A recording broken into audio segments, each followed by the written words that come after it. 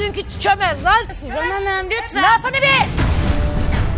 Dilekçim senin şu anda orada olma sebebi annem. Omzumda ağladığı günleri çoktan unutmuş.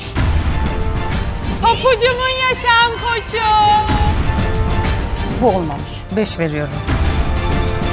Hiç becerememişsiniz. Hepiniz toplayın bavulunuzu gidin.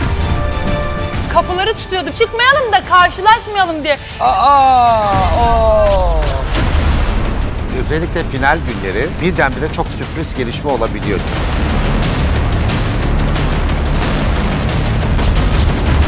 Maalesef bize veda edecek olan gelin.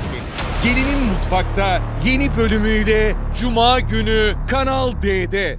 Gelinim mutfakta, gelinim mutfakta. Yemeği tabakta, tadı damakta, gelinim mutfakta.